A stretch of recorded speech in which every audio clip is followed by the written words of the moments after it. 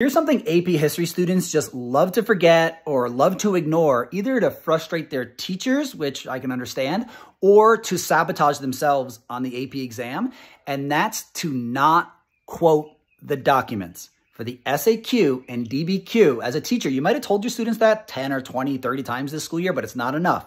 You're going to need to tell them to not quote the documents about four or 500 more times in the five weeks we have left before the exam because you can never earn a point by quoting, but you could scoop up a point you would have otherwise missed just by describing that quote, summing up that quote.